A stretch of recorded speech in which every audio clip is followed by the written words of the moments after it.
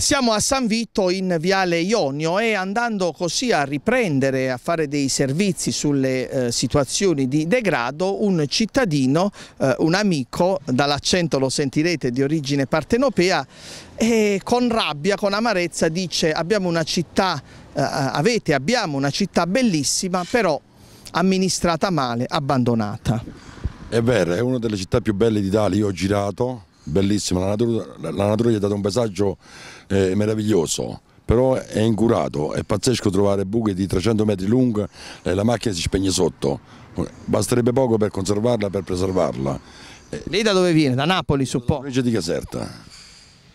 E da quelle parti queste cose si vedono di meno? Le cose sì, però così esagerate no.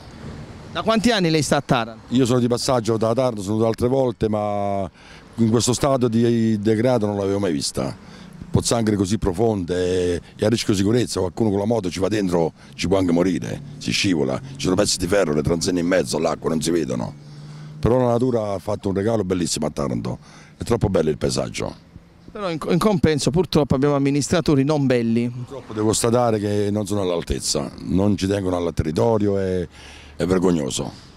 Ecco, vedete la nostra è un'informazione di servizio, siamo aperti a tutto, il cittadino ci ferma e noi diamo voce. Questo è il nostro modo di fare informazione, è la nostra mission.